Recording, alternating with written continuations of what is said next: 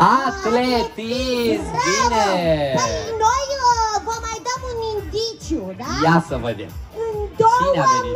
2000, asta trebuie să știe părinții voștri, da? Absolut fiecare, pentru că cu siguranță unii nu s născut pe vremea aceea, a fost declarată, adică a participat la, ol- la Olimpiadă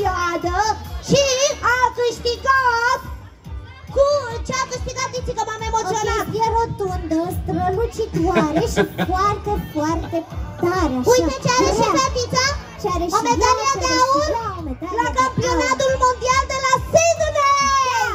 La 5.000 de metri! Deci a alergat indiciu? mult, mult, Păi vă eu am un spun. indiciu care o să zică tot. În 99 a fost uh, numită cea mai bună sportivă a lumii. Cea mai bună sportivă a lumii este aici alături de noi! Gabriela Sabo! Auze! Aplauze pentru Gabriela Savo! Aoleu, ce onoare! Bună dimineața! Ce emoții! Dar ce, ce prezentare frumoasă! Măi, am Mulțumesc, făcut- chiar m-am m-am rușinat puțin, m-am rușinat Da. Sper să-mi treacă. Cuvintele sunt prea puține și am fost și foarte emoționat, că ziceam, uh, europene, uh, toate medaliile, dar chiar, pot să întreb ceva să afle și toți pământenii care sunt aici? La câte starturi ați, ați participat? Câte starturi ați, ați luat?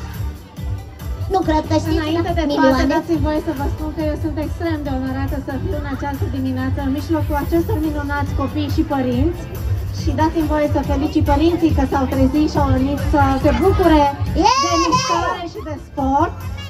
Uh, Să-i salut pe cei mici pentru că sunt fer convinsă că nu ne-au văzut niciodată nici la televizor, nici pe YouTube, nici pe canalele de social media, pentru că sunt prea mici și trebuie să le spunem în felul următor că corpul omenesc este construit pentru mișcare și că trebuie să facem mișcare și să facem sport.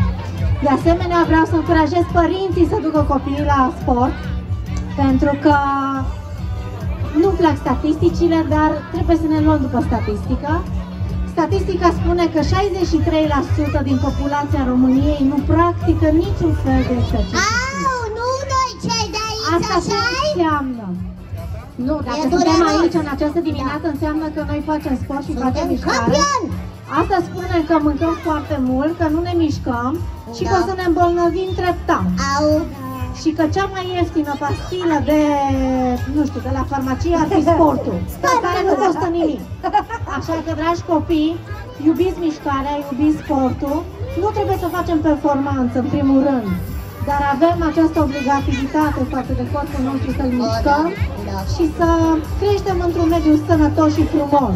Dar Pentru că așa vine- sportul nu înseamnă doar să câștigăm medalii. Eu am câștigat Bravo. foarte multe, recunosc. Sunt peste 23 de medalii câștigate la Wow. Câte din aur? joc. Foarte multe. Știți cum e? Unii ne lăudăm cu recorduri naționale, unii cu titluri naționale. Eu în această dimineață, poate că sunt puțin modestă, mă laud cu 11 titluri de campioană mondială în palmaresul meu. 3 medalii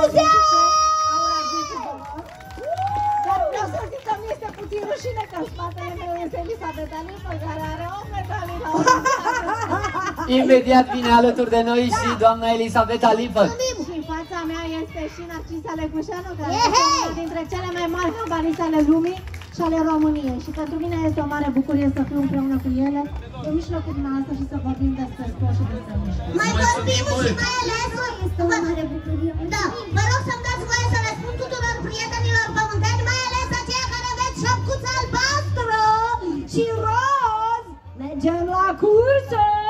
Cine e rău pentru viață de aici?